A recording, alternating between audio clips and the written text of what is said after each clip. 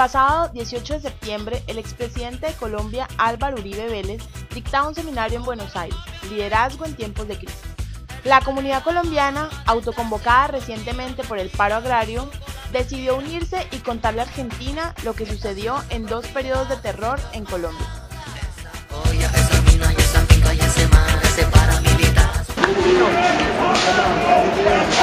Expusimos nuestros puntos de vista al, respecto de todo el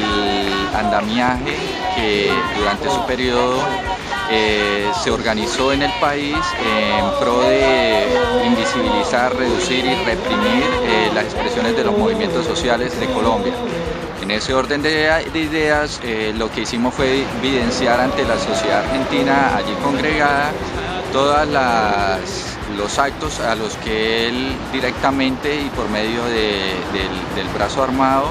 del Estado había hecho durante sus dos periodos de presidencia.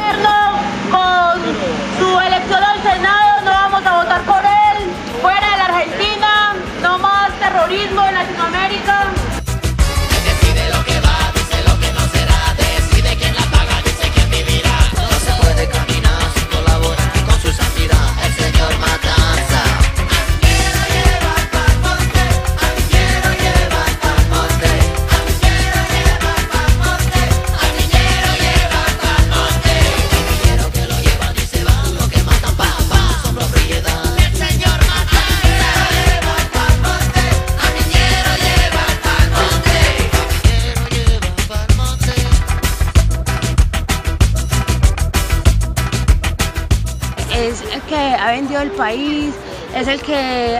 ha ido en contra de los campesinos, es el que ha ido en contra de la salud, del estudiante, de todo el pueblo, el que se ha dedicado a vender el país y por eso lo repudiamos y no queremos que esté en Buenos Aires ni en ninguna parte.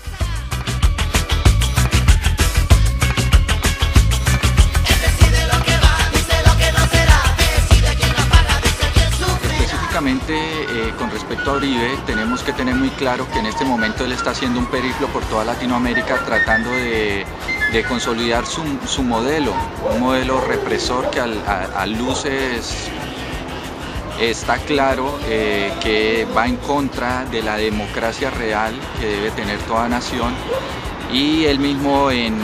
su discurso habla de, la forma como se deben de manejar ciertos temas sociales y es por medio de la represión. El expresidente de Colombia, apoyado por su partido Uribe Centro Democrático o Puro Centro Democrático, vino a hacer campaña en la Argentina, pues ahora es candidato al Senado de la República, pero olvidó que el pueblo no olvida.